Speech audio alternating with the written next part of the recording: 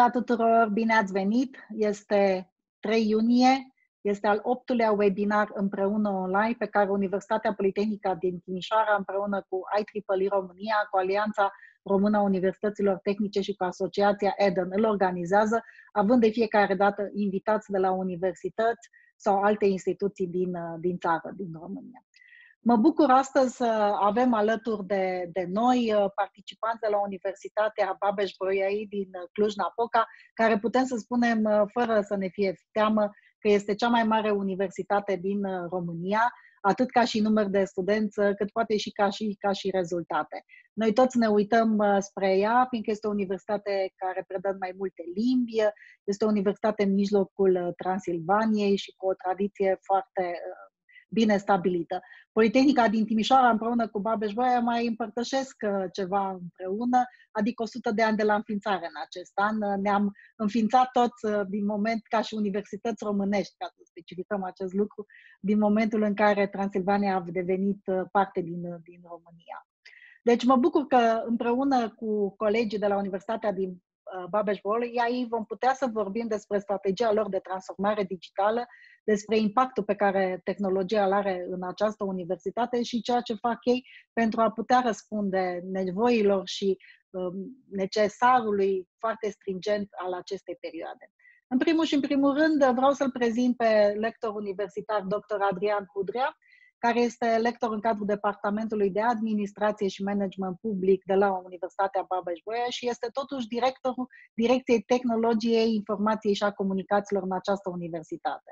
Dânsul a absolvit programul de licență în administrație publică în 2004 și are un MBA cu Public Service Management din 2006. Din 2005 a beneficiat de o bursă de cercetare la Michigan State University în Statele Unite, iar din 2015 este doctor în sociologie. Are o pasiune foarte puternică pentru tehnologia informațională și este puternic interesat totuși de cultură organizațională și de leadership. Alături de el se află Daniel Stuparu, care conduce de aproximativ 10 ani Centrul de Sisteme Informatice din cadrul Universității Babeș-Bolyai din Timișoara și care a absolvit în 2003 specializarea informatică din cadrul Facultății de Matematică și Informatică, apoi un master pe bază de date și comerț electronic. Din 2017 este și economist, absolvind și specializarea de finanțe bănci, dar este puternic interesat de big data, de baze de date și urmează să vadă cum poate acestea să fie influențate de uh, platformele online de educație, dar și de sistemele economice. Bine ați venit, uh, domnilor, în uh, al optulea webinar împreună online. Am să-i dau cuvântul în primul rând mai întâi lui Adrian, dar înainte de a-i da cuvântul lui Adrian, vreau doar un ultim reminder pentru cei care sunt mai noi în acesta, aceste serie de webinarii.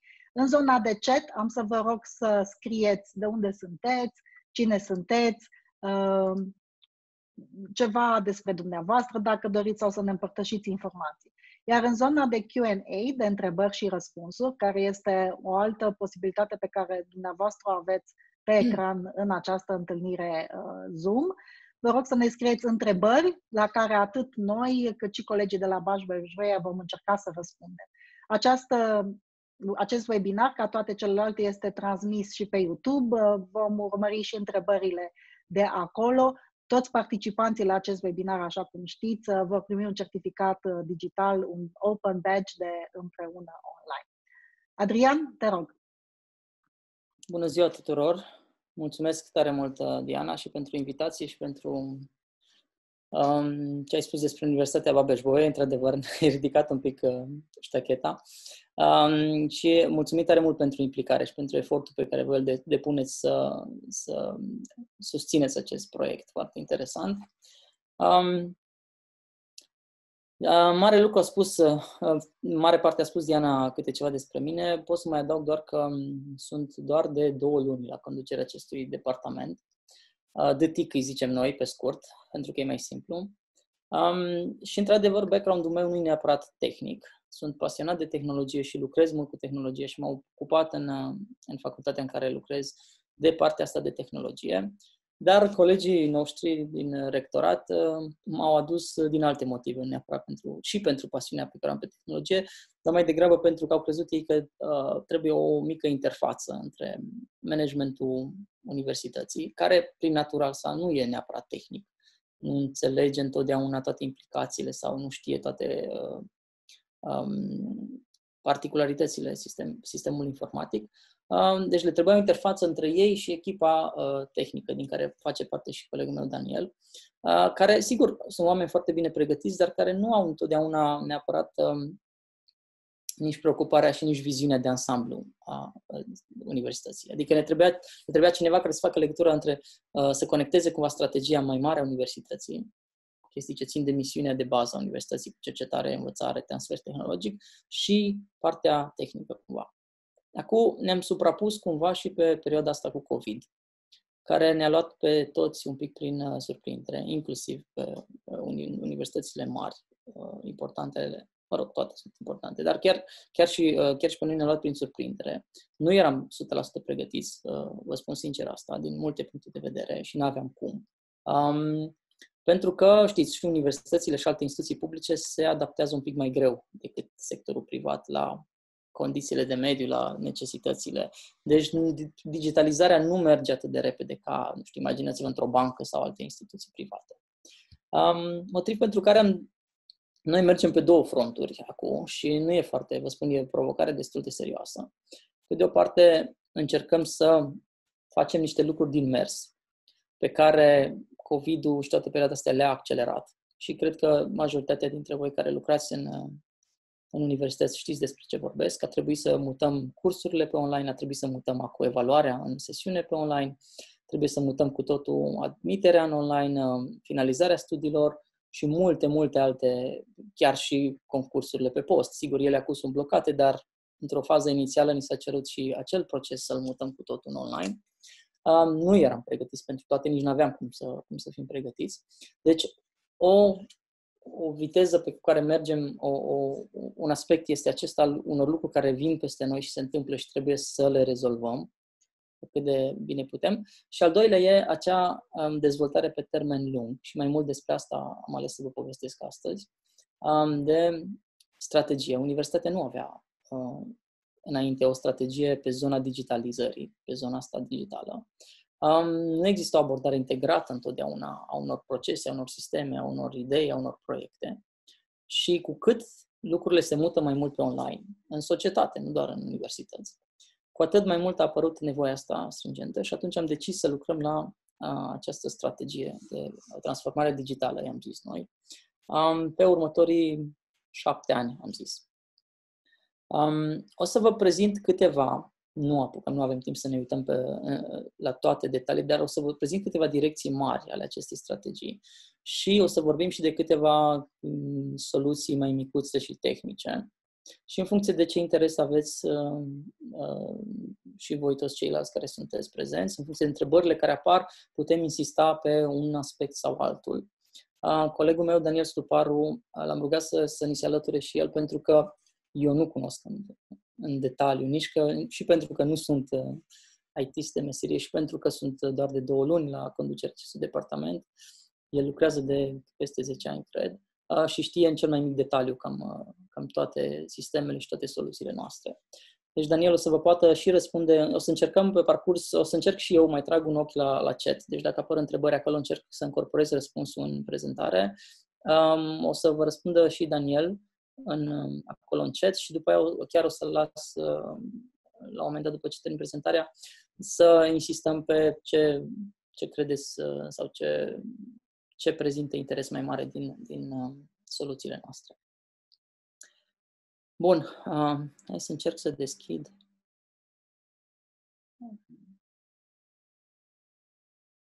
Ar trebui să se vadă, cred. Se vede așa, Diana? Da, se vede foarte bine, mulțumim. Bun. Um, direcțiile mari pe care merge um, universitatea vor fi acestea șase. Um, o să apuc să vorbesc azi mai mult despre primele trei. Nu intrăm în detalii, dacă vreți putem spicui un pic și din celelalte, dar uh, nu vreau să vreau să, apuc să, să apucăm și să adresăm întrebări pe care, um, pe care eventual le aveți. Uh, da, dacă fac full screen, uh, nu mai pot să văd uh, chat-ul, așa e, Diana? Hai să încerc să văd. Ba nu, am reușit. Țin și QA-ul deschis în caz că apar întrebări în timp ce vorbesc. Um, bun, deci prima dimensiune și care e practic legată și de misiunea principală a universității, educație și cercetare. Um, ca idee, dacă vreți, ca umbrelă, um, ce vrem noi e să trecem cât mai mult în digital, fără să afectăm misiunea mare și obiectivele așa mai departe ale universității. Adică nu vrem digitalizare cu orice preț. Vrem să folosim digitalizarea acolo unde ea poate să îmbunătățească, să eficientizeze, să simplifice, să facă mai prietenoase anumite procese, mai ușoare și așa mai departe. Deci digitalizarea pentru noi și transformarea asta digitală nu e un scop în sine. O facem pentru ca universitatea să-și atingă mai ușor misiunea și obiectivele. O facem pentru ca munca noastră a fiecare dintre noi, profesori, personal administrativ, IT, studenți, să fie mai bună, mai plăcută. Asta e uh, umbrela mare în, în această paradigmă uh, muncii. Um, deci, pe partea asta de educație și cercetare, uh, avem o dimensiune, apoi uh, o să le reiau imediat. Um, în zona de simplificare administrativă, uh, sunt foarte multe procese ale universității um, care ne încurcă într-un fel sau altul. Nu existența lor, ci felul în care ele se întâmplă. De la nu știu, obținerea unor documente din, dinspre universitate, la realizarea unor de conturi, la chestiuni ce țin de implementarea proiectelor, toate, ca în multe alte instituții uh, birocratice, publice, toate sunt uh, mâncătoare de energie și de resurse. Uh, am vrea ca profesorii, cadrele didactice, studenții să se poată concentra pe activitatea lor principală și nu atât de mult pe chestiuni administrative și știți foarte bine cât de mult timp ne ia să raportăm cercetarea, să inclusiv să, uh, uh, nu știu, să facem situații legate de, sau să trecem notele, chestiuni ce țin și de academic și de cercetare și mai departe. Integrarea digitală, e un al, e un al treilea mare capitol și o să-l detaliez și pe, o să-l detaliez și pe acesta, um, ține de faptul că am, am vrea ca foarte multe lucruri să fie un pic mai unitare și mai standardizate la nivel de universitate, pentru că uh, ele se împrăștie de multe în foarte multe direcții. Nu există o abordare unitară la nivel uh, universității. Facultățile au, uh, având foarte multă autonomie, adoptă soluții diferite și atunci e foarte greu să, în momentul în care ai instrumente, soluții folosite de toată lumea, e foarte greu să le integrezi. Um, de TIC, așa cum am spus, este departamentul nostru, compartimentul nostru de digitalizare și avem și acolo niște um, măsuri și direcții de dezvoltare. Relația cu mediul afaceri vrem să dezvoltăm foarte mult. Ea deja există la nivel de universitate, e o politică foarte puternică. Dar uh, eu vreau să vorbesc mai mult de cea legată de sectorul IT. De felul în care ne-am gândit noi să lucrăm cu firmele din zona IT. La Cluj sunt două clustere um, de IT, foarte multe firme. Știți, Cluj e un mare pol uh, pe zona asta de IT și digitalizare. Deci, cred că colaborând cu firme respective putem face foarte multe proiecte interesante din care să beneficiem uh, cu toții. Um, UBB Green, aici sigur nu cred că o să am foarte mult timp să insist, dar vrem să folosim, iarăși e unul dintre, unul dintre principiile universității, sustenabilitate și relația bună și prietenoasă cu mediul, vrem să folosim tehnologia și în sensul ăsta. Imaginați-vă, nu știu, sistemele de management al uh, utilităților din clădiri, uh, iluminat inteligent, lucruri, de, lucruri care țin de genul ăsta, de, de, de aspectul ăsta. Deci vrem să folosim um, tehnologia și, și ca să, să facem universitatea mult mai prietenă cu mediul și mult mai responsabilă în zona asta. Uh, le iau puțin pe rând. Pe partea de educație și cercetare, um, vorbim de zona de cursuri. Și aici, um, sigur, din păcate, abordarea universității nu e neapărat unitară. An de zile, universitatea a ezitat să ia neapărat o, o măsură sau o decizie fermă în zona asta. Și atunci, uh, fiecare facultate, noi avem 21 de facultăți, fiecare dintre facultăți și-au um, um, gestionat problema asta în, în, în, propriu, în propriu fel.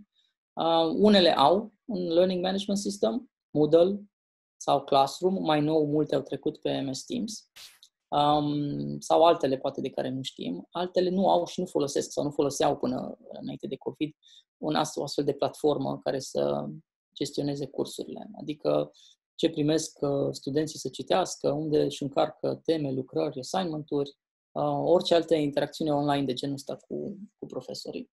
Um, deci, în ultima vreme, folosim intensiv Teams. Am adoptat, avem un, un parteneriat mai larg, dacă avem timp o să-l povestesc, cu Microsoft și atunci um, Microsoft Teams e platforma pe care au început să o folosesc cât mai multe facultăți și pentru gestionarea cursurilor și pentru examene, dar sunt și unele care folosesc Classroom, de exemplu, împreună cu Google Meet. Um, Moodle e folosit de câteva facultăți. Um, facultatea din care provin îl folosește de vreo 10 ani și pot să vă și arăt acolo, um, dacă există interes în zona asta, să vă arăt cum și în ce fel îl folosim. În perioada asta COVID, sigur, am început să folosim uh, pe scară largă și aceste sisteme de videoconferință, Teams, Zoom, Google Meet și multe altele, pentru că fiecare facultate, la un moment dat, chiar fiecare profesor, practic, um, își alege. Sunt profesori care știu că au ținut și pe, prin Skype, sunt unii care au folosit WebEx, dar cele mai folosite sunt acestea pe care vi le-am arătat, Teams și Zoom. Um, vrem apoi să avem niște baze de date uh, interconectate, interogabile, pe foarte multe domenii. Uh, sigur, asta e mai degrabă cu bătaie lungă. Unele deja există și ar trebui să încercăm să le îmbunătățim, um, altele vrem să le creăm pe termen lung, dar ar fi foarte util și pentru procesul de luare a deciziilor, de exemplu, să avem astfel de baze de date care să adune informații și pe care să le putem folosi.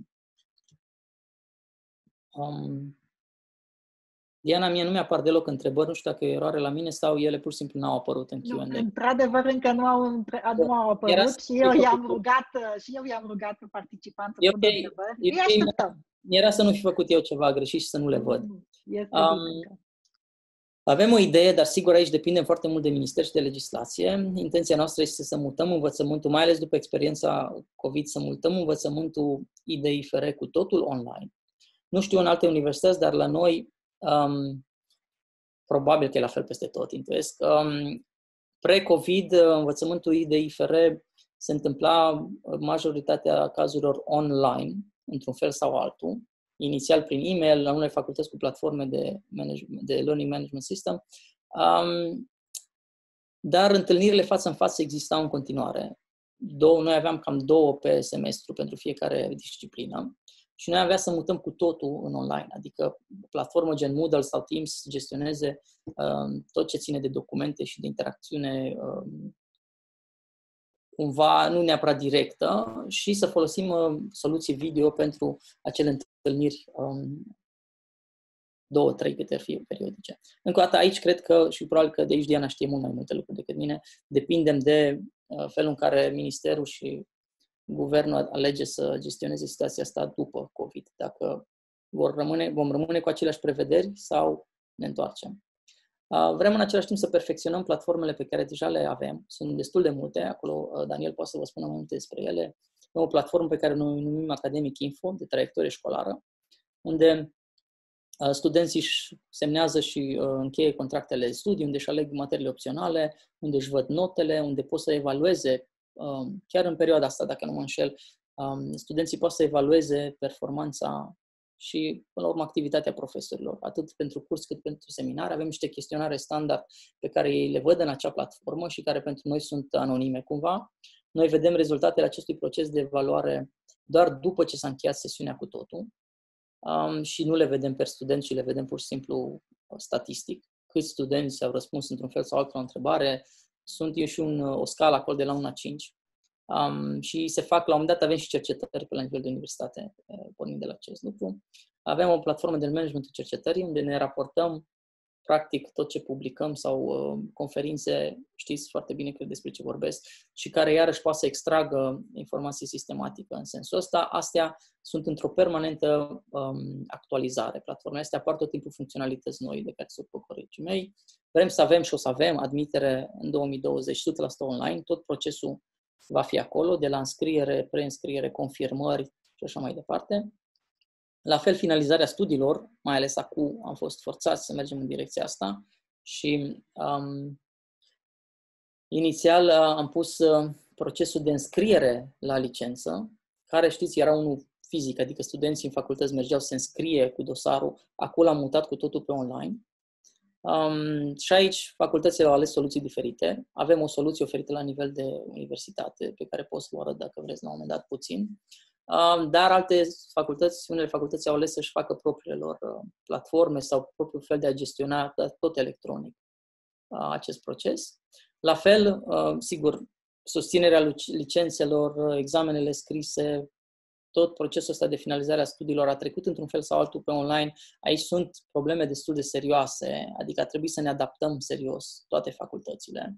Pentru că, știți, e foarte bine, cred că a și fost una din întâlnirile trecute s-a vorbit despre așa ceva, e destul de complicat, tehnic vorbind, sau destul de scump, dacă vreți, să ai un sistem care să înlăture orice problemă ce ține de examene scrise, chiar și grilă online, Adică, atâta vreme că studenții intră de acasă sau dintr-un loc pe care nu poți să-l controlezi, um, îți trebuie niște softuri, uh, ele sunt, dar sunt scumpe, le-am explorat și pe acestea. E o platformă Proctorio cu care am uh, testat la un moment dat um, și care îți asigură într-o proporție destul de mare că studentul respectiv nu trișează, adică nu are alte documente deschise, nu-și minimizează ecranul pe care de examen și așa mai departe. Aici ne-am adaptat puțin, folosim o soluție combinată majoritatea facultăților, um, adică un Zoom sau Teams prin care să vedem studenții live și o altă platformă Moodle sau altceva în care să contorizăm sau ei să-și um, practic răspundă la întrebările respective.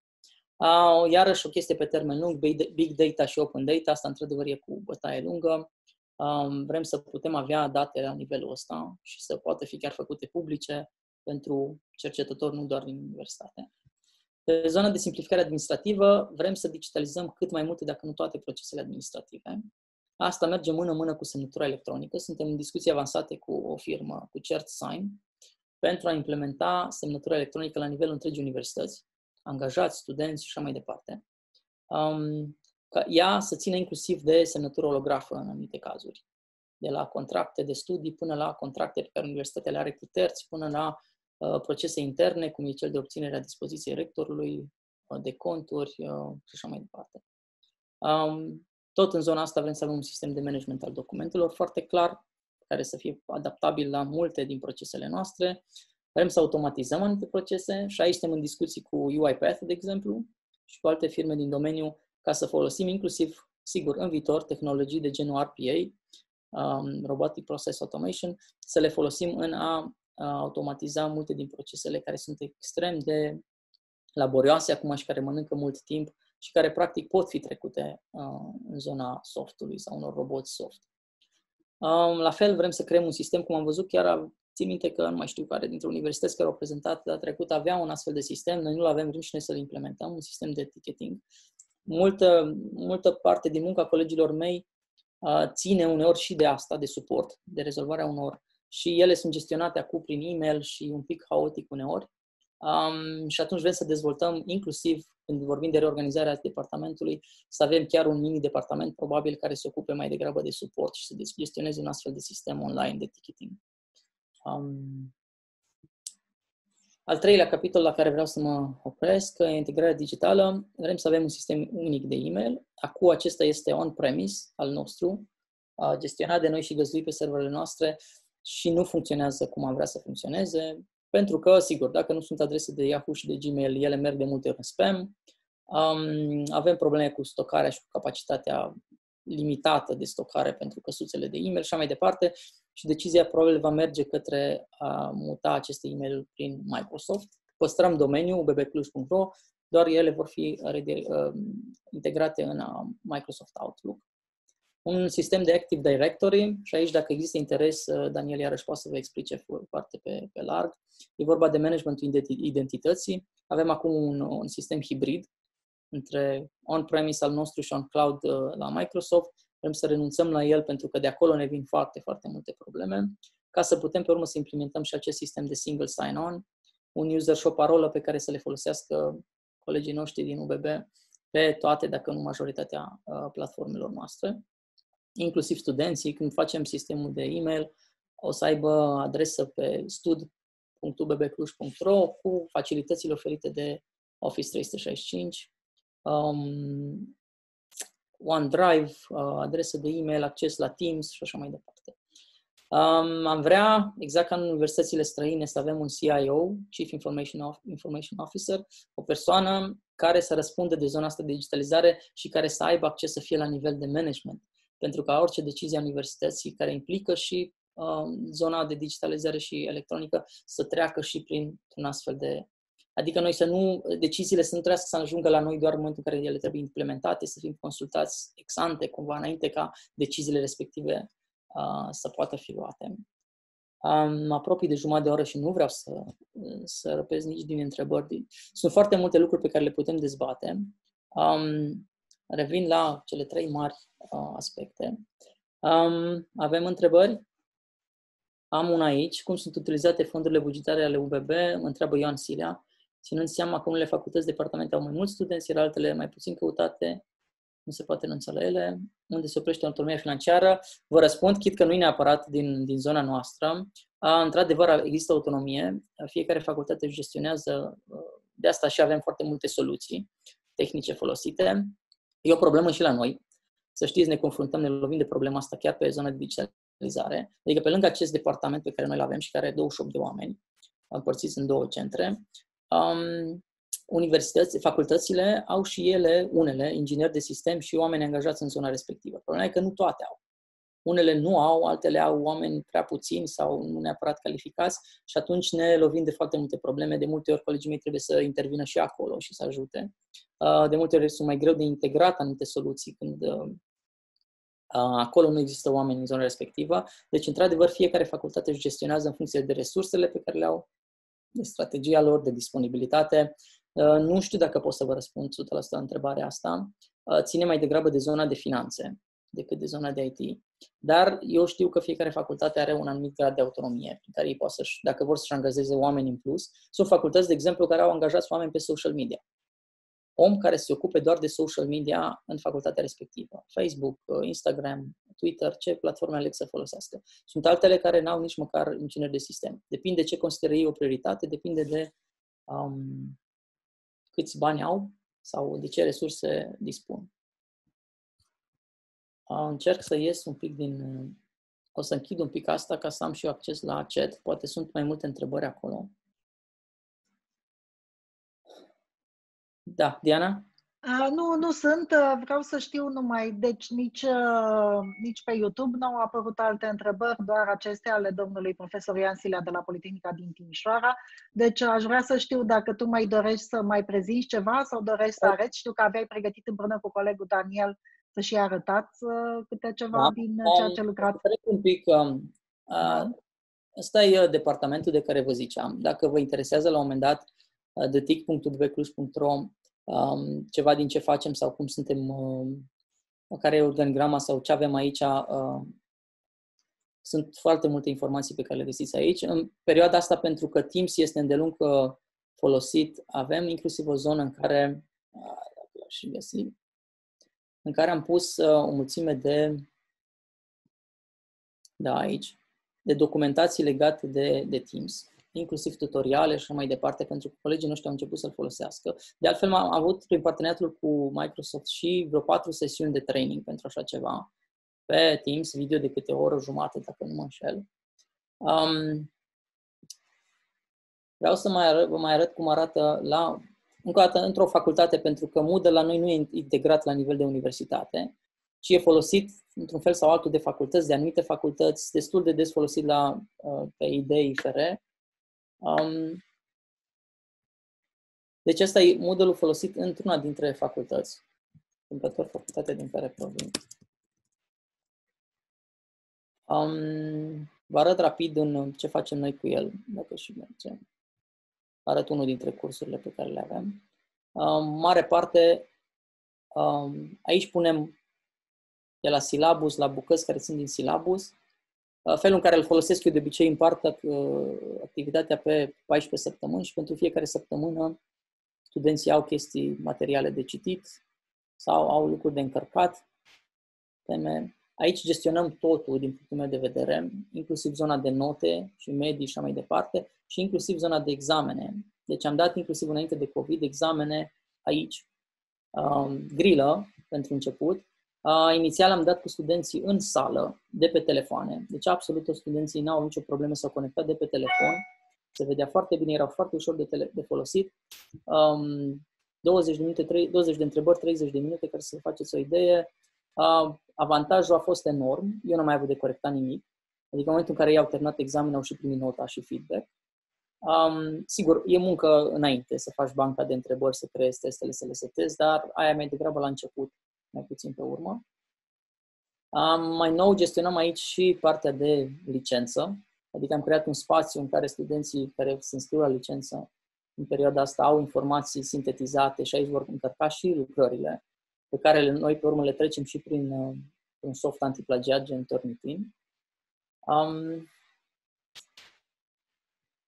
pot să vă arăt și eventual aici o să las pe Dani. Eu îl las aici deschis și îl, îl rog pe Daniel să vă povestească un pic despre o inițiativă de noastră. Așa am început uh, ideea de fluxuri de documente și am început cu dispoziția rectorului. O să vrem să extindem asta la, tot, la toată universitatea. Dani, te rog, uh, dă-le tu câteva detalii despre cum funcționează și cum e gândit. Uh, bună ziua și mulțumesc de invitație.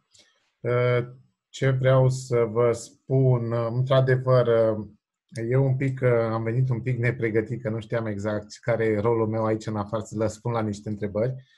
Așa, într-adevăr, cum zicea și Adi, asta, asta este unul dintre softurile noastre. A fost gândit pentru a automatiza sau cu scopul de a automatiza anumite proceduri din UBB. Primul proces a fost cel sau este cel pentru cererea de eliberare, pentru eliberarea dispoziției rectorului. În principiu, în principiu este un soft făcut in-house de noi, în care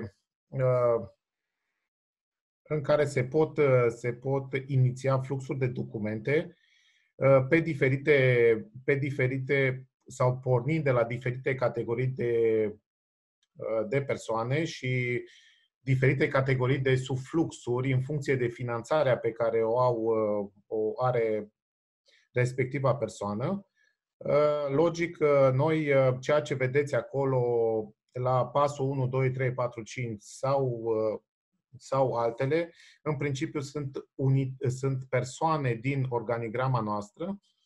Un pic uh, aplicația știe cumva să, sau cumva am învățat-o ca uh, dacă poate să determine persoana care ar trebui să semneze respectiva cerere, cumva să o afișeze acolo și să nu lase persoana, uh, să nu lase persoana inițiatoare ca să o modifice. De ce? Pentru că una dintre problemele de care ne loveam sau ne-a lovit înainte de acest lucru era faptul că anumite persoane făceau anumite cereri pentru eliberare și încercau să cumva să uh, jongleze un pic uh, organigrama. Adică nu mergea, să zicem, la șefului direct, cum ar fi directorul de departament, ci mergea la un prodecan cu care se cunoștea mai bine sau se înțelegea mai bine și cumva respectivul flux uh, mergea mai departe. No, pornind Pornind de la chestia respectivă, în principiu, noi am încercat să batem în cuie, s-a făcut uh, să batem în cuie cumva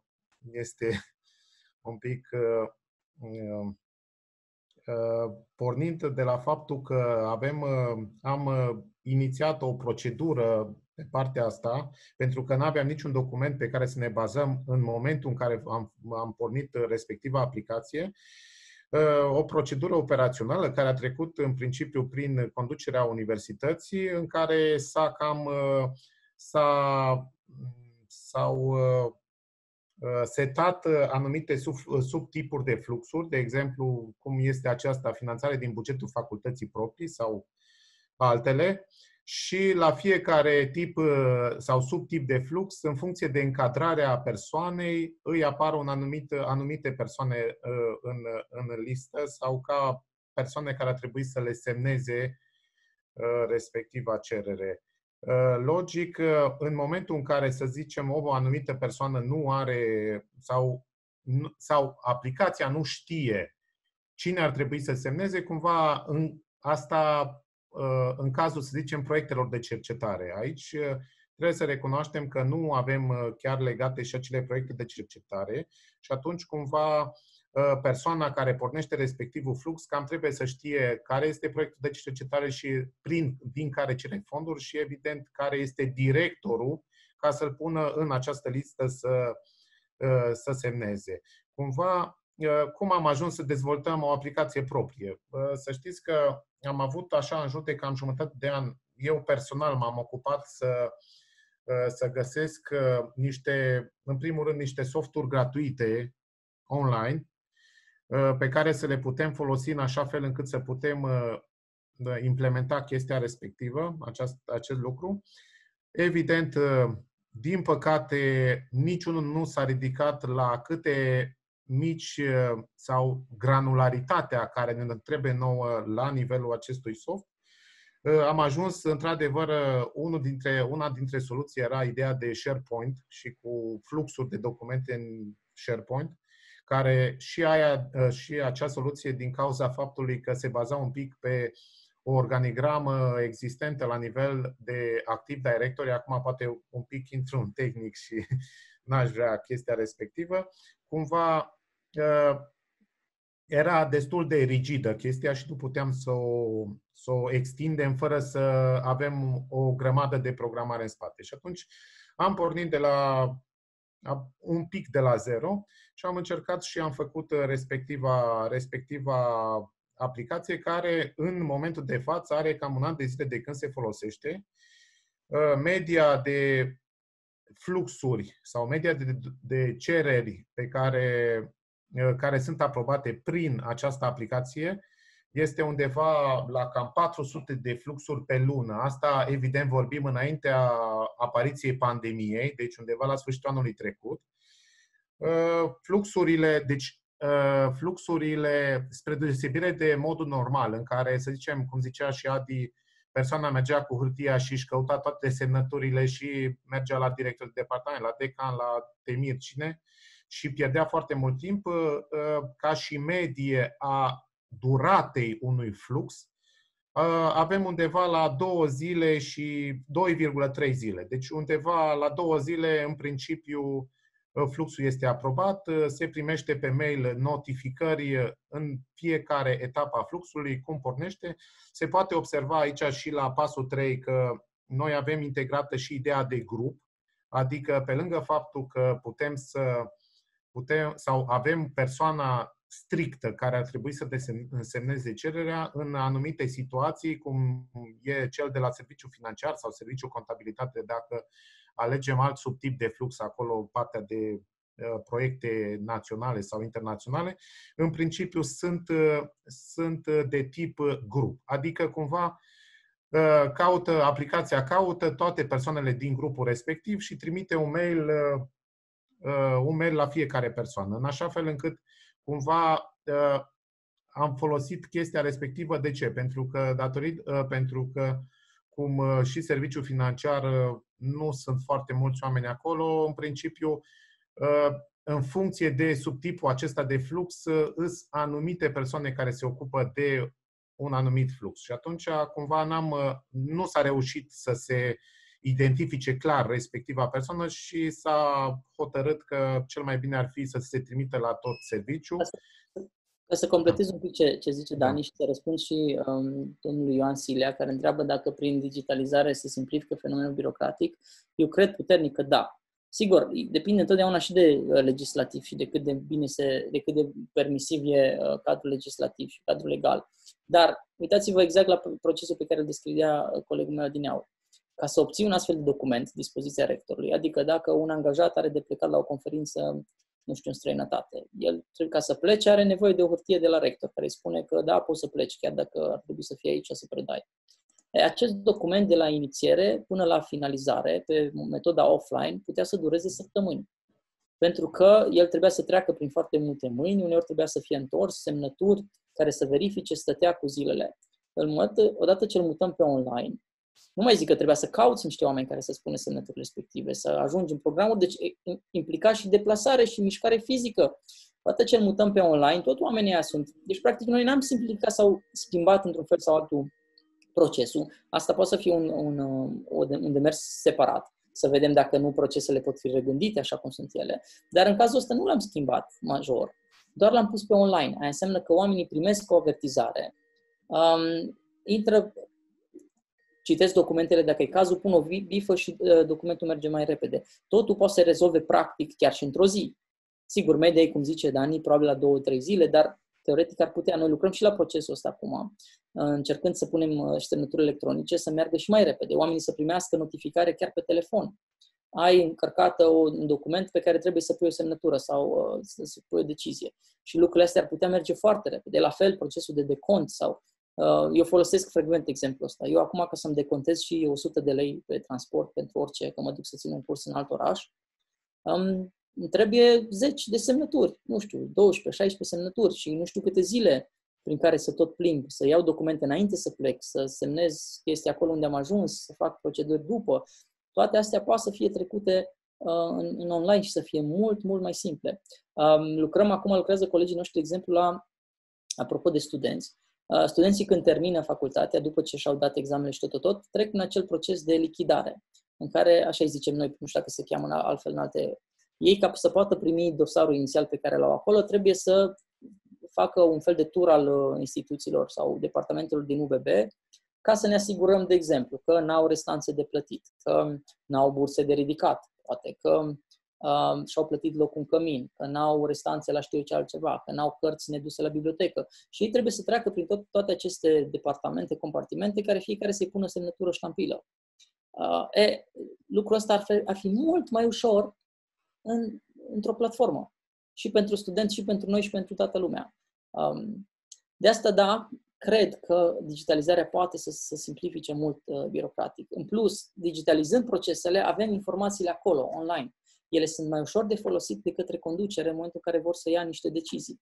Um, problema care ne confruntăm acum e că nu avem întotdeauna informațiile la dispoziție și rapid.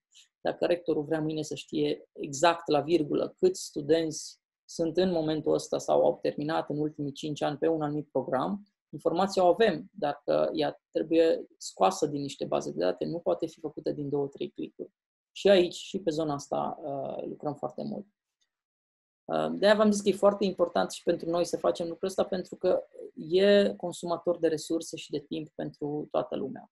Și de multe ori, cadrele didactice, cercetătorii ajung să petreacă mai mult timp pe zona asta birocratică sau destul de mult timp um, în loc să se ocupe chiar de cercetarea respectivă. E ca și în proiectele alea cu finanțare europeană, anii trecuți, pe post sigur ați avut cu toții, când lucram mai mult pe raportare decât pe cercetare sau pe activitățile respective. Aici cred că ar putea să ne ajute foarte mult uh, digitalizarea.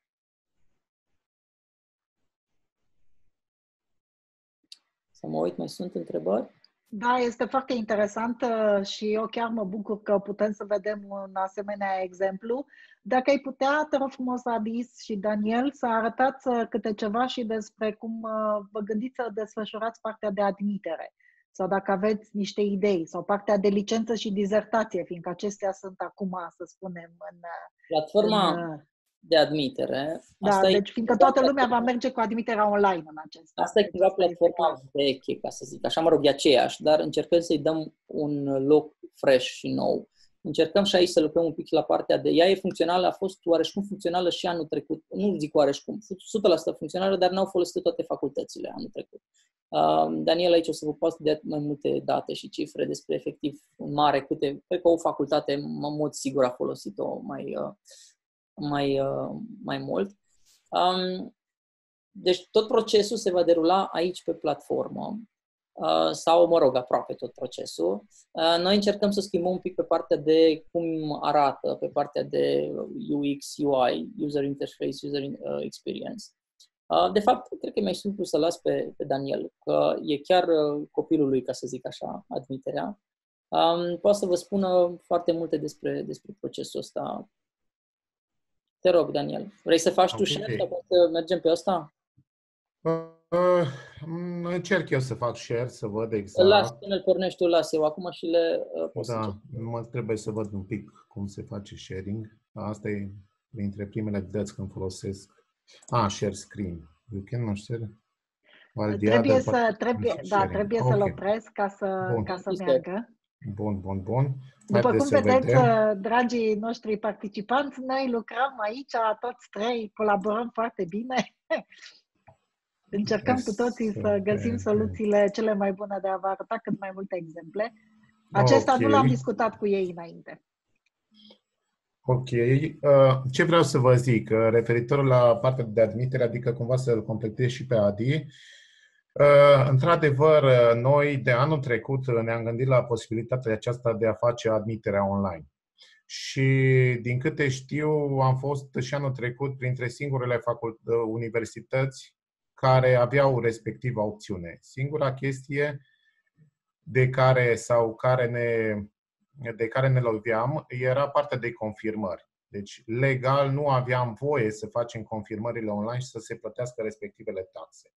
Deci, noi, prin această aplicație de admitere, anul trecut, într-adevăr, cum zicea și Adi, a fost folosită uh, ca, adică au fost folosite toate funcționalitățile, înțelegând documente, încărcat de documente, uh, plată online, uh, Uh, status al dosarului candidatului online și, evident, tot ce ține de partea de gestiune a acestor, uh, acestor dosare de către Comisia de Admitere, uh, era, a fost făcută de, în primul rând de FSEGA, dacă știți, de Facultatea de Științe Economice.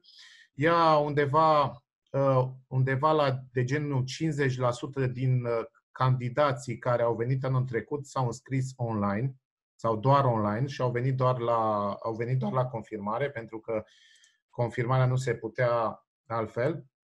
Acum, ce vreau să zic, noi în perioada asta, cum zicea și Adi, suntem în, un, într-un proces de modernizare un pic a acestei platforme. De ce? Pentru că facem și partea de confirmare online, uh, pentru că ne lasă cumva ministerul acum.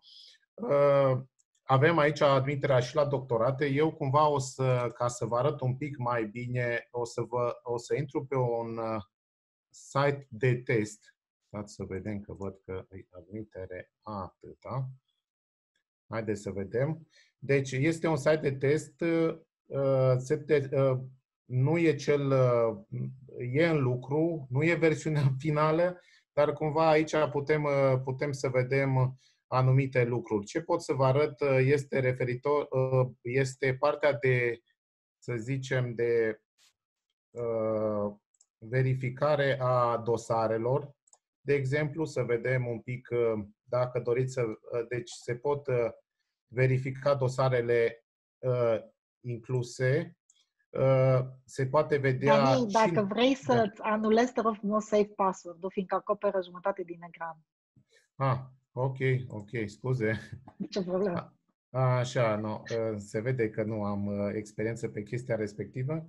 Pe asta, în principiu, noi am, aici am făcut, ă, ceea ce vedeți aici e pe partea de comisie de admitere, adică comisia poate să-și aleagă specializarea, forma de studiu, cetățenia poate să pună anumite filtre pe dosare și poate vedea respectivele, respectivele dosare. Poate vedea stagiul, ă, poate vedea ce dosar este respins, ce dosar este verificat. Dacă este un dosar incomplet, poate pune opțiuni. Ă, evident, ă, undeva aici o să trebuiască, se poate vedea exact ce ține sau ce documente a încărcat respectiva persoană la dosar da? Cumva persoana, ă, noi am dat ă, posibilitatea să se încarce doar niște documente de genul PDF-uri și uh, JPEG-uri și PNG-uri. De ce? Pentru că uh, vă dați seama, nu putem orduri pentru că le se pot modifica și după aceea uh, nu e destul de ok. Am schimbat denumirile în așa fel încât să fie mai simplu pentru Comisia de Admitere ca să, ca să poată downloada toate documentele, să poată verifica Uh, automat în momentul când comisia preia un dosar, uh, respectiva, respectivele documente cumva sunt, uh, sunt făcute read-only și respectiva persoană nu mai poate să le șteargă de dincolo sau să șteargă opțiuni. Așa. Te rog mult Are... de tot să te muți de aici pentru că sunt date personale pe care nu avem Da, da, da, da. Ce vreau să mai vă zic că este partea de plăți online. Aici avem iarăși Uh, se, poate, se pot face anumite filtre pe taxe de școlarizare, pe partea de confirmări. Uh, candidați spre înscriere, statistici, evident, la nivelul comisiei de admitere Uh, le-am dat posibil... ce avem noi acolo sunt, uh, dacă nu mă înșel eu, studenți fictivi. Deci uh, nu sunt neapărat date. Da, da, da, nu sunt, nu sunt studenți teste. Deci sunt teste. Oh, ok, m-am liniștit. Deci chiar teste nu sunt... Asta nu e sunt. zona de teste, aici e platforma pe care o testăm și pe care lucrăm. Da, nu e da, da. timp real, aici nu sunt studenți Nu reali, sunt studenții care, care sunt... Doar fictiv, care toate sunt. datele de aici sunt fictive. Așa, logic, aici se pot actualiza anumite taxe, locuri, cam tot ce ține de chestia respectivă. Uh, acum nu vă pot uh, face un proces de preînscriere ca să vă arăt exact cam cum arată, pentru că automat, haideți că facem altfel. Mergem ca să, dacă tot e test, mergem pe da? Și procesul de preînscriere începe cu, nu știu, cu declarație de consimțământ. Cumva noi ne-am gândit că automat uh, candidatul respectiv să nu trebuie sau să nu mai trebuiască în prima fază să-și completeze acea declarație de consimțământ prin care ne dă nouă Universității babeș bolyai dreptul de a folosi datele și prin uh, acel, uh, printr-o simplă bifă, da, declar că am citit și că sunt de acord, cumva trece mai departe. Aici, evident, își poate introduce numele inițial la prenumele, are un anumit, uh, un anumit uh, număr de pași pe care trebuie să-i facă. Evident, acum nu-i mai completez, dar ați înțeles în principiu, la nivel de opțiuni, el poate să-și aleagă opțiunile în, cumva în, uh, în ordinea în care ar dori să apară pe fișa de, de admitere, pe fișa de înscriere și după aceea are opțiunea de confirmare de date și acele, acea anexă 1. Anexa 1 fiind uh, o, un PDF în care sunt toate datele sunt uh, toate datele candidatului și, evident, cred că și fișa de înscriere.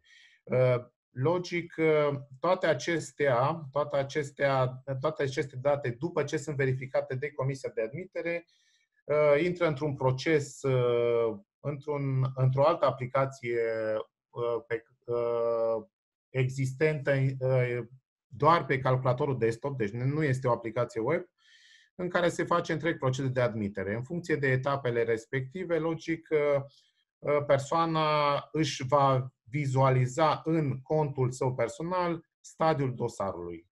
Va vedea, va putea confirma, automat la confirmare va putea adăuga anumite documente în plus față de documentele din uh, stadiul de înscriere și, uh, și cumva se pot, uh, cumva prin acest prin acest fapt putem să, putem să continuăm și să facem întreg procesul de admitere. Dani, o să te opresc eu un pic, okay. Uh, da. Uh, pentru că cred că ne apropiem un pic de sfârșit. Uh, vreau numai un pic să-ți mai răspund 30 de secunde, Diana, la ce m-ai întrebat legat de licență. Acolo, iarăși, sau fiecare facultate a mers pe zona ei, dar multe au optat, să fiu sincer, pe partea de um, examen oral, chiar dacă inițial o, pe pre-COVID erau examene scrise și au dat seama că e foarte greu de gestionat un examen scris în condițiile astea și au trecut multe pe, pe partea de, uh, online, de oral, adică prin Zoom, probabil, sau Teams. Um, durează mai mult, uh, am simplificat acolo procedura, chiar și în variantele în care s-a mers pe examen scris, tot cu un pic uh, daos de oral, ca să zic așa, adică îi, îi admiți în, în zona de Zoom sau Teams după care îi, îi expui întrebărilor și îi pui cumva să răspundă, chiar dacă ele sunt grile sau... Acolo, într-adevăr, e o chestie complicată și dacă în viitor universitățile merg în direcția respectivă, cred că acolo va fi o provocare majoră la, la examinare pe online. Da, într-adevăr, asta este și din punctul meu de vedere. Mulțumesc foarte mult și noi în Politehnica din Timișoara. Cred că după câte Uh, mi-aduc eu aminte, nu mai puteam acum să verific repede, dar um, admiterea din 2017 a fost prima admitere care a avut complet, la noi complet înscrierea online. Uh, singurele obligații au fost ca actele de să fie aduse fizic, pentru că legea nu ne permite să acceptăm, uh, până acum ce puțin nu ne permitea să acceptăm actele doar încărcate online. Ei le încărcau online ca noi să le putem verifica Comisia de admitere le verifica pe fiecare facultate și le comunica candidaților ce acte trebuie să mai aducă. Dar acum vom trece și cu partea de confirmare. Recunosc că asta este cea mai mare problemă, pentru că, așa cum știți și cum știe toată lumea care este din mediul universitar, uh, fiecare candidat are voie să facă la fără taxă o singură dată o formă de învățământ. Și este foarte dificil să poți să verifici la nivel național repede, adică două zile, cât durează perioada de confirmare, că acel student nu este student altundeva dacă nu ai diploma fizic predată. Noi avem câteva propuneri. Joi va fi ședința a doua de semnat dedicată admiterii. Deja a fost una da, în care s-a discutat asta și tot. provocarea majoră și la noi, da. într-adevăr. Pentru că și varianta cu... Da. Cum eviți ca studentul să nu uh, aibă finanțare multiplă, că practic asta e. Da, asta este și care e ilegală și e datoria universității să se asigure. S-ar rezolva, foarte simplu de la, s-ar rezolva foarte simplu de la minister. Dacă ei ar avea... dacă dacă registrul matricol unic ar merge.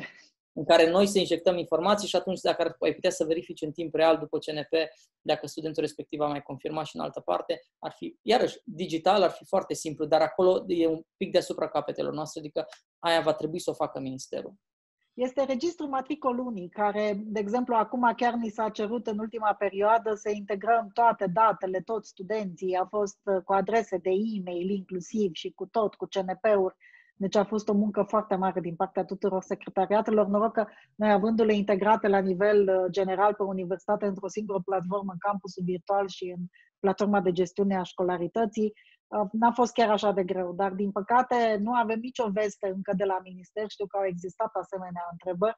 Dacă va exista acces la acel registru matricol unic din partea fiecare universități, încât să poată să verifice pe baza CNP-ului, de exemplu, dacă acel student există înmatriculat deja într-o formă de învățământ undeva sau nu. Poate că totuși încă mai sunt, noi mai sperăm, mai sunt uh, trei săptămâni, până atunci poate ne vor da acces la ea. Mai țin minte când acum o lună, două, erau oameni în universitar care încă sperau că noi vom da, vom da examene față în față? Da, da, da. Deci...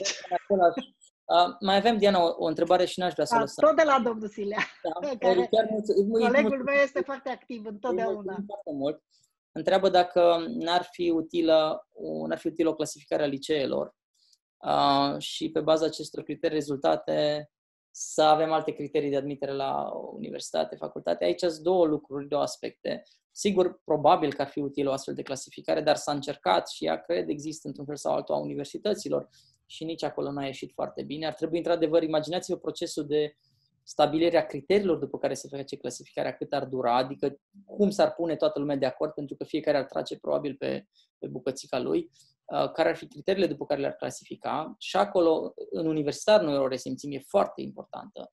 Uh, e foarte important pentru cei care termină clasa 12 să știe că sunt anumite facultăți, știți cazul Spiru Haredea cu câțiva ani, care nu sunt în, nici în primele două uh, categorii valorice, dar anumite uh, nici, nici măcar în a treia, să zic, dar aminte în primele două. Deci, probabil că ar fi util și la nivelul liceelor, dar îmi imaginez cât de laborios ar fi un astfel de proces și eu nu cred, mi-asum, nu cred că ministerul în momentul ăsta are capacitatea să facă așa ceva. Dar ar da. fi, da. ar fi. Eu recunosc că nu sunt chiar de aceeași părere, adică eu cred că da, poate să fie util, ajută la calitate, motivează, motivează liceele, motivează profesorii, motivează pe toată lumea să fie mai bun acest tip de clasificare, dar nu l-aș vedea în contextul admiterii. Eu consider cu tărie că trebuie toți să aibă șanse egale, indiferent de unde, de la ce liceu, evaluarea din clasa 8 pentru unii poate să fie prea devreme, pentru unii nici măcar când vin la facultate nu știu exact dacă ceea ce au, pentru ce s-au înscris inițial este pentru ce au chemare o descoperă mai târziu. Poate, Eu cred poate mult mai mult în șanse egale. Poate m-am exprimat greșit, da. Diana, pentru pe aceeași undă. Eu ziceam doar că ar fi utilă, în general, să avem un ranking al... al da, da, da, iar motiva. Eu consider ranking-ul ca o chestie motivațională.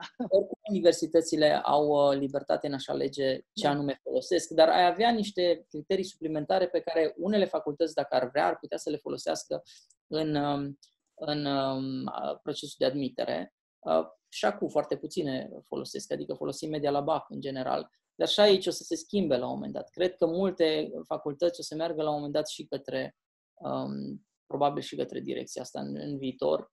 Um, către a selecta studenții, viitorii studenți un pic mai bine decât o facem acum. Și eu sper și sper ca din ce în ce mai mult portofoliu pe care, uite, acum uh, Politehnica din Timișoara deja reușește să-l, uh, să-l introducă, uh, din ce în ce mai mult să conteze, deci ceea ce a făcut elevul în calitatea lui, fie școlară, fie extrașcolară, să înceapă să conteze cât mai mult la admiterea în universitate și de asemenea să conteze poate mult mai mult un interviu, o posibilitatea de a-și exprima o opinie, de a spune ce dorește să facă, de a vedea că există acel interes. E un proces mult mai laborios. Recunosc că eu am trecut prin asemenea procese și le-am văzut și de o parte și de alta baricade, cum zic eu, și ca și student și ca și cel care a decis uh, dacă un candidat este eligibil pentru o facultate sau nu. Dar uh, cred că mm, părerea mea este că este poate mai bun, este poate să fie influențabil, oamenii trebuie foarte bine pregătiți, cei care decid viitorul unui candidat, să spunem, decât poate un simplu examen sau o notă la bacalaureat, care poate să fie uh, o stare de fapt într-o anumită zi și s-au mai văzut cazuri în acestea. Dar noi am pregătit, colegii de la Babeș Boia au pregătit uh, niște poluri, niște întrebări pe care le lansez acum și am să le și citesc și am să vă rog să răspundeți cât se poate de mult uh, toată lumea la ele, fiindcă vrem să ne apropiem de final și să și comentăm împreună cu colegii de la Babeș Boia aceste întrebări. Prima este dacă cunoașteți dacă instituția dumneavoastră are soluții integrate digitale pentru managementul de documente și administrativ. Da, nu sau nu știu. După aceea, dacă cunoașteți sau dacă aveți sau lucrați și au există proiecte comune în colaborare pe zona de digitalizare cu companii private, da, nu sau nu știu. Și, din nou, cunoașteți și utilizați un sistem integrat de susținere administrativă a educației online, adică a notelor, a examenelor, a orarului, da, nu sau nu știu. Uh, deci am să vă rog pe toată lumea să răspundeți la aceste întrebări. Bineînțeles, dacă cunoașteți sau știți uh, da sau nu, ați văzut că n-am pus nici mai multe informații, nici uh, din ce universitate, nici ce tip de, să zicem, sau de liceu sunteți și ce tip de unealtă folosiți. Ne interesează doar să vedem care este nivelul cumva de digitalizare în uh, mediul educațional din uh, România, chiar dacă aceasta este foarte empiric uh, făcută, fiindcă suntem 88 de participanți acum și care poate venim din aceleași universități și sunt cam aceiași de multe ori care ne urmăresc deja de, de 8 webinarii, începând cu cel de astăzi. Uh, am să mai las încă un minut uh, sau o jumătate de minut să se voteze. Am să vă rog pe cei care sunteți prezenți în Zoom să votați în acest, uh, în acest sondaj de opinii cu cele trei întrebări foarte simple și care verifică nivelul de digitalizare din interiorul universității dumneavoastră. Dacă vă rugăm frumos să mai votați și cei care mai sunteți în Zoom. Uh, într-adevăr, eu sunt foarte mulțumită și bucuroasă că Politehnica din Timișoara și-a propus ca până la începutul anului un universitar viitor să introducă un sistem de management administrativ complet al documentelor, exact similar cu cel care a fost prezentat de colegii de la babeș bolyai fiindcă la noi nu exista. Noi stăteam mai bine cumva pe zona de educație, aveam un sistem integrat deja de 14 ani de zile, de 10 ani funcțional și pentru licență și pentru master uh, în zona de educație, dar nu aveam uh, deloc, uh, să zicem, pe partea administrativă. Avem și acest enroll pe zona de admitere, de înscriere, dar să vedem cum va fi și altfel. Am să închei acum acest poll și am să distribui rezultatele. După cum vedeți, la prima întrebare doar 26% spun că au soluții integrate digitale, tot cam atâta spun că nu, dar un număr mult mai mare, aproape de 50%, spun că nu știu. Deci uh, înseamnă că nu au, uh, nu au accesat sau nu au cunoscut acest uh, lucru. La a doua întrebare, dacă lucrează în proiecte comune de zonă de digitalizare în companii private, din nou, tot cam același număr spune că da, deci 28%, dar mult mai mic nu.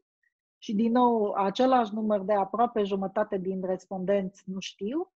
Iar la a treia întrebare, dacă sunt, există un sistem integrat de susținere administrativă a educației, adică note, examene, orare, aici este mult mai mare, cam 80% spun că da, ceea ce este foarte bine, mai ales acum în acest context al pandemiei, ne-a ajutat mult pe mulți dintre noi care am avut acest sistem la dispoziție. 12% spun nu și 8% nu, spun că da. Adi, Daniel, dacă vreți să comentați și voi. Uh, cred că la primele două întrebări, cel puțin cele de nu știu, probabil că poate să intre liniștit la nu. Mă gândesc că dacă um, colegii noștri în alte universități nu știu de astfel de cel mai probabil ele nici nu există și acolo cred că e o problemă pe care universitățile trebuie, trebuie să o adreseze. Aici cred că ăla va fi cumva primul pas, să există un astfel de learning management system. Um, adică, mă duc un pic și către a treia întrebare, um, important, um, nu știu cât de important e ca el să fie unitar la nivelul universității, mai ales că aici e provocarea majoră, uh, atâta vreme cât, cel puțin asta am resimțit-o noi, cât universitatea nu a decis, acum 5 ani, 10, haideți să facem o platformă, să luăm Moodle, să luăm un alt uh, learning management system și să-l folosim la, întreg, la nivel întregi universități. Facultățile s-au dus după nevoile lor, au identificat o nevoie și s-au dus către ea. Acum e foarte greu să te mai întorci și să-i dezobișnuiești pe oameni. Um, noi avem și cu e mail problema asta, adică pentru că e mail universității nu funcționa neapărat uh, comparativ cu un Gmail sau Yahoo Mail, nici nu avea cum. Uh, la fel, anumite facultăți s-au dus către alte soluții de e-mail și acum e destul de greu să le, să le aducem în aceeași uh, barcă. Dar uh, cred că trendul ăsta va fi. Nu cred că e ceva care mai poate fi, mai poate fi oprit. Dacă cineva mai crede că asta cu IT-ul și cu digitalizarea e o modă care se treacă într-un an, doi, îmi pare rău, dar nu. Uh, după cum vă uitați în jur, societatea e tot mai um, puternic cuprinsă de, um, de tehnologie. Ea va intra în toate... Uitați-vă că, nu știu, ne programăm altfel vacanțele decât cu digitalul, muncim altfel, învățăm altfel, cumpărăm altfel. Tehnologia intră peste tot. Și uh, dacă noi ignorăm chestia asta, cu facem o greșeală uriașă pe termen lung, strategică. Deci trebuie să mergem cât mai mult. Încă o dată, eu nu susțin tehnologia cu orice preț, de dragul tehnologiei, doar în măsura în care ea ne ajută. Și acolo va trebui să folosim cu, cu, cu cap tehnologia și să o integrăm cât mai mult în tot ceea ce facem, inclusiv în, în universitate. Și dacă nu o facem, o să ne ia alții înainte și o să ne ia, uh, cumva, e și o oportunitate COVID partea asta cu pandemia, pentru că ne-a, noi zicem digitalizare forțată. Ne-a forțat. Tot ce era imposibil acum două, trei luni, dintr-o dată e foarte, foarte posibil. Uitați-vă cum se mișcă guvernul. Ne-a lăsat să facem de toate. Noi ani de zile am cerut, putem face asta în online, putem face asta. Ministerul a zis nu, legea, legea. Dintr-o dată, peste, peste noapte, toate au devenit posibile. Acum rămâne de văzut câte mai rămân după, um, uh, după pandemie. Eu sper că foarte multe.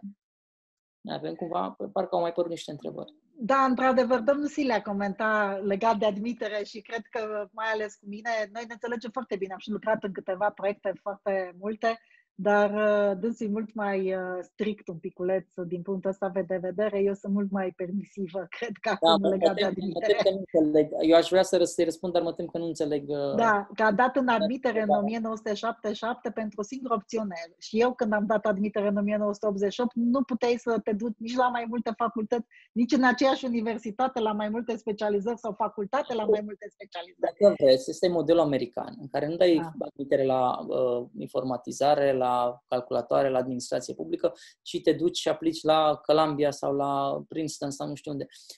Dar, în ultimii doi ani de facultate începi și te specializezi și îți alegi ceea ce numesc ei major. Și asta s-ar putea, dar nu văd o variantă în care nici-nici. Adică te duci de admitere la UVT sau la UBB sau la știu eu ce, la UB București și faci ce? adică da. te duci de, pentru că... și acolo o faci pe banii proprii, aici o faci totuși pe banii publici, deci pe banii contribuabilului, deci ar trebui să avem mai multă grijă ce facem cu banii contribuabilului și cum îl producem uh, absolvenți de calitate, ingineri, uh, economiști, medici, uh, avocați care sunt gata să profeseze normal imediat, în șase luni normal, asta ar fi termenul, ca în șase luni de la absolvire să pot să fii independent și să pot să lucrezi. Eu cred Asta că este ținta. Se duce, vor fi tot mai nișați oamenii. Adică nu, nici învățământul nu cred că mai fi orientat pentru pe catch-all, să știm din toate către nimic, uh, nici măcar în liceu, nu știu dacă e cea mai bună abordare, cea veche, clasică, europeană, românească, uh, cred că mai degrabă oamenii se vor specializa din ce în ce mai mult. Cred că o discuție mai interesantă ar fi, noi am mai avut-o intern cu colegii, în ce măsură universitățile, ca idee, în viitor, în lume, nu doar în România, vor mai fi o alternativă viabilă pentru cei care vor să învețe ceva. Să știți că așa asta devine o problemă. Sunt oameni care spun că în momentul ăsta poți să dobândești orice fel de aptitudini și skill-uri online, cu sau fără bani, depinde ce. Uh, și ce motiv mai avem să existe universități. Eu nu sunt neapărat de, de părerea asta, dar apar tot mai multe voci care o să spună peste tot că universitățile sunt un pic depășite și că tipul ăsta de educație, tipul ăsta de formare nu mai ține pasul cu realitățile curente. Când poți, încă o dată, poți să dobândești multe din aptitudini, cunoștințe online.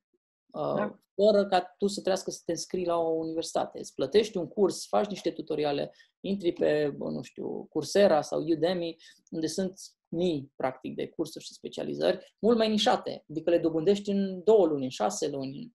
Nu îți mai trebuie să stai patru ani în facultate sau trei ani. Poate să fie și asta o discuție la un moment dat. Da, într-adevăr, și eu mă bucur foarte mult. Dacă mai aveți, în, în final vreau în doar 30 de secunde fiecare, deci elevator pitch, înțelegeți? Foarte simplu. Fiecare dintre voi, cum vă vedeți peste un an de zile? În ce stare vă vedeți peste un an de zile? Adrian și Daniel, fiecare separat. Din punct de vedere al educației și al digitalizării, bineînțeles. Deci 30 de secunde. sau noi individual? Pe voi, pe voi individual, ce vedeți că veți mai face peste un an de zile? Ce veți mai face într-un an de zile? Vrei, Daniel, să încep tu sau încep eu? Eu ce vreau să fac sau ce mă văd că vreau să fac peste cam un an de zile e partea de big data. Deci acolo, acolo o să încerc să trag mai tare pentru că e un domeniu nou.